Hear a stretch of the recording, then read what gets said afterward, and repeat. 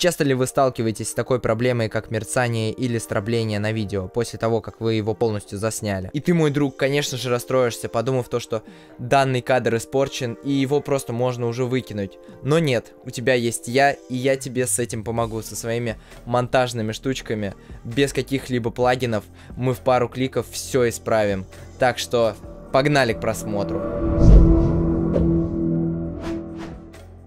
Для начала давайте вообще поговорим, как же заснять такой ролик, чтобы не было никакого мерцания и почему это происходит. Возьму, к примеру, свой вариант. Я снимал все вот на вот эту вот GoPro, у нее частота кадров была 60. А вот у любой самой обычной лампочки, к примеру, даже той, которая была у меня в видосе по PlayStation 5, кстати, кому интересно, можете глянуть. Ну так вот, частота данной лампочки равна 50. Следовательно, если выставить на камере заранее выдержку кратную 1,50, то у вас не будет данного эффекта. Ну а если вы по какой-то причине это не сделали, то к вам придут любые монтажные программы на помощь. В моем примере это будет Premiere Pro. Так вот, чтобы исправить данный артефакт, вам надо поставить нужный ролик на тайм-линию, после сделать дубликат данного ролика, дальше зайти во вкладку эффекты и изменить opacity, или же прозрачность на 50, и перенести его поверх этого ролика с отступлением на 1-2 кадра. Тут уже будет все зависеть от вашего исходника. В таких случаях я обычно переношу на 2 кадра. Ну вот и все. Теперь ваш ролик уже полностью готов и без мерцания.